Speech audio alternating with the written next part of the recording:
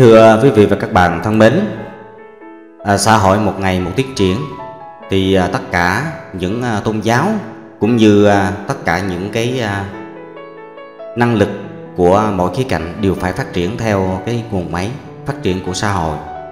Chính vì thế mà có một số nhà tri thức đã hiểu sai về Phật giáo. Sau đây mình xin trình bày về cái hiểu về Phật giáo của một số nhà tri thức hiện nay. Trao đổi với BBC ngày 15 tháng 4 năm 2013 Giáo sư Ngô Đức Thịnh phát biểu về Phật giáo Việt Nam hiện nay Khi mà đại gia Trầm Bê phô trương tên tuổi trên các chùa to đại gia tài trợ như sau. Theo BBC, ông bày tỏ sự quan ngại khi phải ghi nhận một bộ phận mà ông cho là không nhỏ. Các quan chức, trong đó có, có cả các nhà quản lý cũng tham gia vào việc tiếp tay cho một số cá nhân tổ chức buôn thần bán thánh qua việc cầu lộc, cầu tài và lạm dụng kinh tài qua trao nhận cúng dường công đức. Đặc biệt nhà nghiên cứu văn hóa tín ngưỡng dân gian này khẳng định cũng có một bộ phận không nhỏ các tổ chức cá nhân hoạt động tín ngưỡng tôn giáo trong đó có các nhà đền, nhà chùa, một số tăng ni, sư sãi cũng vụ lợi không nhỏ các quan chức. Có nghĩa là phần lớn các quan chức tham gia tiếp tay vào việc buôn thần bán thánh đây là chuyện cá nhân của các quan chức khi mà họ đang trên đà danh vọng và quyền lợi như diều gặp gió. Dĩ nhiên, họ sợ mất mát nên phải bám víu vào đấng quyền năng nào đó khi họ chưa am tường về tinh thần của nhà Phật. Vì thế, giáo sư Ngô Đức Thịnh có nhận xét đúng, thâm quan tiến chức là phải do chính từ năng lực bản thân chứ không phải do việc cầu tài cầu lộc xin âm phù dương trợ như vậy Ông cho rằng những hành vi cầu xin này chỉ phản ảnh sự thiếu tự tin vào bản thân cũng như vào chính chế độ mà các đảng viên, quan chức này đang làm việc chấp chính. Như vậy, cái lỗi là do sự yếu bóng vía và thiếu tự tin, chứ không phải do Phật hướng dẫn họ. Tiếp đó, giáo sư cũng quy kết cho cũng có một bộ phận không nhỏ các tổ chức cá nhân hoạt động tín ngưỡng tôn giáo trong đó có các nhà đền, nhà chùa, một số tăng ni, sư sãi cũng vụ lợi. Đây là đây lại là sai lầm lớn của giáo sư khi bảo rằng bộ phận không nhỏ nếu 80% hoặc trên 50% các cơ sở và tu sĩ Phật giáo hiện nay vụ lợi thì xác định là bộ phận không nhỏ. Nhưng thưa giáo sư, kiểm lại được mấy chùa do các quan chức đại gia liên kết với các tu sĩ Phật giáo làm việc đó trên vài chục ngàn ngôi chùa hiện nay, Chỉ có vài ngôi chùa danh tiếng Được các đại gia hỗ trợ, Sao gọi là một bộ phận không nhỏ. Hiện nay chính sách đánh thuế của nhà nước đối với các cơ sở tín ngưỡng chưa được đặt ra. Vậy giáo sư đặt vấn đề gì? Có những cơ sở tôn giáo tín ngưỡng kiếm đến hàng 4-50 tỷ đồng mỗi năm, Ông nói. Và vấn đề là các cơ quan quản lý nhà nước không thể biết nổi, họ kiếm được bao nhiêu, chứ chưa nói đến đánh thuế. Hình như giáo sư đang tự mâu thuẫn khi đặt vấn đề. Và vấn đề là các cơ quan, quản lý nhà nước không thể biết nổi họ kiếm được bao nhiêu, chứ chưa nói tới đánh thuế. Vì chưa có chính sách thuế má đối với tôn giáo thì cơ quan quản lý cần gì biết họ kiếm được bao nhiêu mỗi năm mà gọi là chưa nói tới đánh thuế. Thế thì giáo sư đặt vấn đề Mỗi năm họ kiếm 4 50 tỷ để làm gì? Phải chăng là vạch lá tìm sâu? Và khi mà thấy sự thu nhập như thế So với sự thu nhập của cá nhân mình? Trước đây à, thỉnh thoảng giáo sư Ngô Đức Thịnh Một chuyên gia nghiên cứu tôn giáo và xã hội học Cũng vài lần phát biểu về những hiện tượng tôn giáo ở Việt Nam. Rất tiếc Giáo sư chỉ nhìn thấy những hiện tượng mà không nắm vững được thực chất cốt lõi của nhà Phật. Cũng thế, ông Nguyễn Đức Truyền cũng có cái nhìn gần giống với giáo sư Ngô Đức Thịnh. Ngược lại, nhiều cơ sở tôn giáo gồm không ít chùa chiền và sư sãi cũng đang xa rời nguồn gốc của tôn giáo. Tín ngưỡng truyền thống lâu nay của dân tộc để đi tới lựa chọn và thích tu vừa thích hưởng thụ. Phật giáo chưa hề có vụ vừa thích tu vừa thích hưởng thụ. Như ông truyền nhận xét, nếu thích tu thì không ai thích hưởng thụ bao giờ. Có lẽ các vị chưa nhìn thấy nếp sống đạo hạnh của Đức Pháp Chủ Thích Phổ Tuệ Cũng như rất nhiều bậc chân tu đang ẩn cư nơi non cao, cốc vắng. Trường trai tuyệt dục Giới luật tinh nghiêm. Mời quý vị bỏ thời gian đến các núi non quan sát. Đa số sự tu hành của những người thích tu mà không thích hưởng thụ bao giờ. Có lẽ quý vị nhầm lẫn giữa hai khối tu sĩ thích tu và thích hoạt động xã hội bậc gọi là thích tu ngôn ngữ của à, ông truyền hẳn nhiên không bao giờ thích hưởng thụ. Và khối hoạt động xã hội không thể ghép chung vào khối thích tu. Vì không thể bắt cả hai tay cùng một lúc thì làm gì có việc vừa thích tu lại vừa thích hưởng thụ. Như trò bối bác như thế, ông truyền giải thích và minh họa tiếp. Chùa ngày nay là để cứu vớt sinh linh, cho nên đem cái khổ của mình ra để xoa dịu cái khổ của nhân loại. Cho nên họ muối một vải dưa, vải cà, ăn hàng một hai năm nhà chùa toàn mặc áo thô, đi chân đất thôi, chứ không diện sang trọng hay xa hoa như bây giờ, ông nói Hình như ông truyền đang bị tiêm nhiễm bởi sân khấu cải lương diễn tuồng vào những thế kỷ con người còn đi xe ngựa và chân đất. Nhà chùa nào mà đem cái khổ của mình ra để xoa dịu cái khổ của nhân loại bao giờ? Lấy cái khổ của mình để soi dịu cái khổ của chúng sanh là việc xa lạ chưa hề thấy trong kinh sách Phật giáo. Ăn dưa muối, mặc phải thô đi chân đất đâu phải là cái khổ của nhà tu.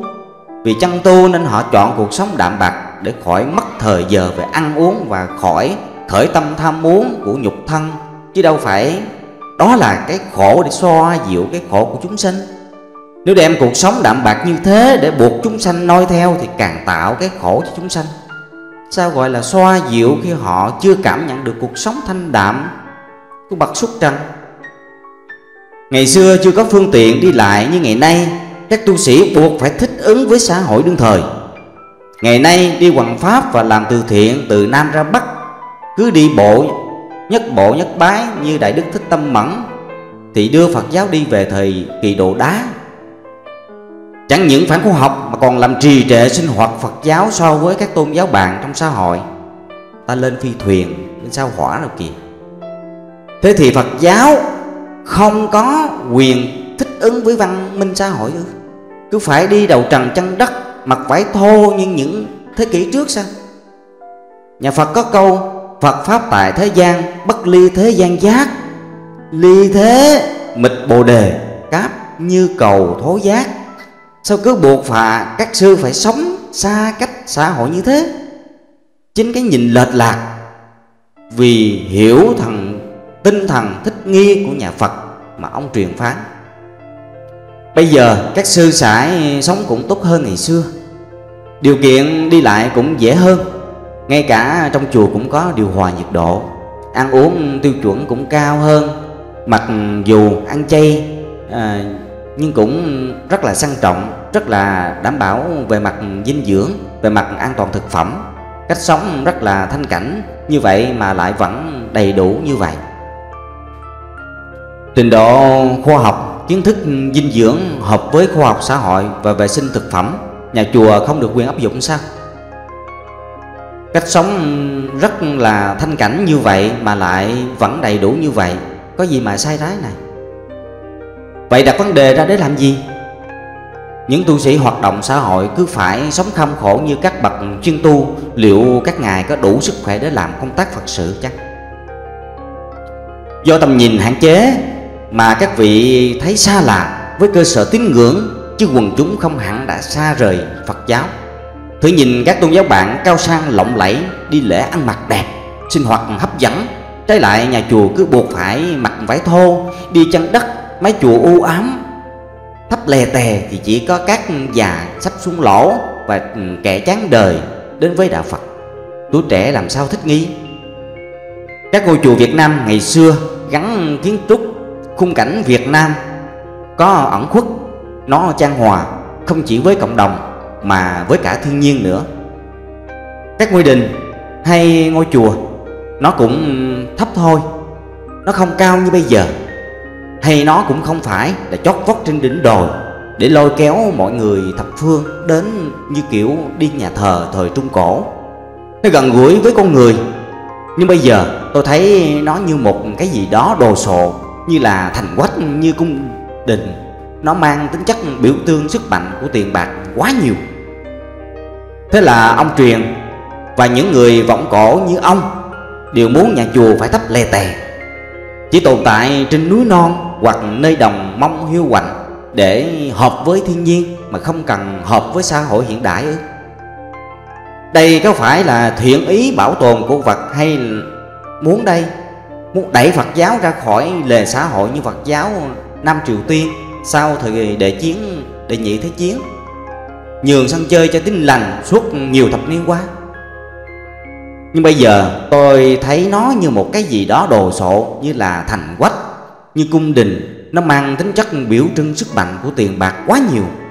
Có lẽ ông truyền có cách, có thành kiến mặc cảm về tự ti, nên thấy các cơ sở phật giáo phát triển như thế, biểu trưng sức mạnh của tiền bạc. Vì thế ông nói thêm, tôi thấy nó không gần gũi với tâm hồn đạo phật chùa chiền nơi nguyên thủy.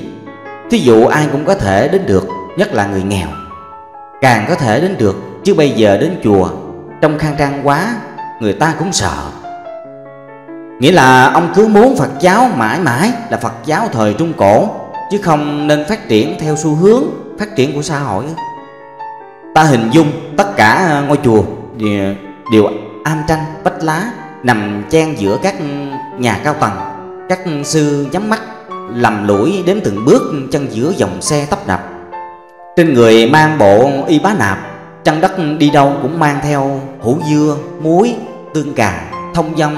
Khi mà nhu cầu phật sự cấp bách, bá tánh cần cầu an, cầu siêu, cho thân nhân hấp hối. Có lẽ không những ngoại đạo mà ngay cả xã hội đều phải nhìn các sư là một hiện tượng quái thai của xã hội. Chưa nói đến các sư đi Hoàng Dương, đến hải ngoại, hay các sư từ hải ngoại vào Việt Nam, chắc phải dông bườm vượt biển như các đạo sư xa xưa hay quốc bộ như ngài Huyền Trang thuở nhà Đường. Sau khi hoài cổ muốn Phật giáo trở lại thuở bán khai, ông truyền gợi ý nhà nước quản lý mức thu nhập của Phật giáo để đánh thuế như các quốc gia khác, tạo sự công bằng cho xã hội được biết ở một số quốc gia Ngoài việc có luật pháp quy định rõ ràng Các nguồn thu nhập cá nhân hay tổ chức của các cơ sở hoạt động tôn giáo bị đặt dưới sự giám sát và kiểm tra chặt chẽ của chính quyền. Một số nơi còn hành nghề tôn giáo, tạo thu nhập là một nghề nghiệp mà đối tượng điều chỉnh của các luật thuế. Một trong các lý do được biết là để tạo bảo đảm công bằng trong xã hội, đặc biệt giữa các tổ chức doanh nghiệp và cá nhân kinh doanh từ hoạt động tôn giáo tín ngưỡng so với các lĩnh vực thương mại dịch vụ thông thường khác ông truyền đứng trên góc độ kinh doanh và lợi nhuận khi các quốc gia đánh thuế vào các tôn giáo. Nhưng ông không thấy có những điều khoản mà các quốc gia đối các quốc gia đó đối với những hoạt động tôn giáo tuy có thu nhập, nhưng phi lợi nhuận do những hoạt động từ thiện xã hội, họ không bao giờ đánh thuế. Ý kiến của giáo sư ngô đức thịnh và nguyễn đức truyền nếu là một thiện ý là thiện ý của những người có những thế kỷ trước. Nếu là thiện ý của vị trí trong xã hội ngày nay thì không phải là một thiện ý.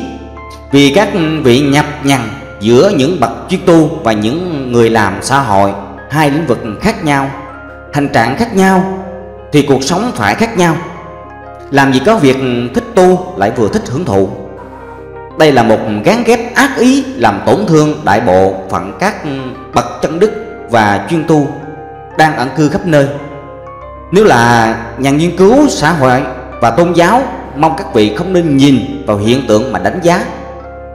Cần phải chuyên sâu vào thực chất của phật giáo qua những hiện tượng quá nhỏ so với đại bộ đại bộ phận phật giáo hiện nay. Bởi vì tất cả không là như các vị tuyên bố. Những đóng góp to lớn của Phật giáo đối với dân tộc bù đắp thiệt thòi cho những mảnh đời bất hạnh trong xã hội và các bậc chuyên tu phần lớn, tại sao quý vị không nêu ra mà chỉ nêu ở một góc độ tiêu cực? Thà rằng một người bình thường nhận xét, có thể thông cảm những khiếm khuyết, nhưng một nhà trí thức đại diện cho những nhà nghiên cứu xã hội và tôn giáo trong một chế độ như thế thì người Phật tử chúng tôi cảm thấy Có cái gì bất ổn trong kiến thức và thiện ý của quý vị những phương tiện gọi là hưởng thụ trong một số ít tu sĩ hiện nay, phải so sánh những đóng góp của họ cho xã hội. Có tương xứng để lên án. Nếu bảo chị đóng góp mà không được thụ hưởng những tiện nghi hiện có có phải là một bất công trong xã hội? Ai quy định cho sự đóng góp mà không được bù đắp những tiện nghi, bảo đảm sức khỏe do cho năng suất đóng góp đó? Sao các vị muốn quản lý thùng công đức để gọi là công bằng cho xã hội mà lại không công bằng cho những đóng góp thầm lặng thường xuyên trong giới thập, giới nhập cuộc của Phật giáo hiện nay? Mong các nhà tri thức hãy nhìn nhận vấn đề sâu sắc hơn để những người Phật tử không lên tiếng, nặng nề. Xin các bạn cảm ơn các bạn đã chú ý lắng nghe bài viết do Tâm Mẫn viết ngày 20 tháng 4 năm 2013 xin cảm ơn các bạn chú ý lắng nghe. Hẹn clip sau.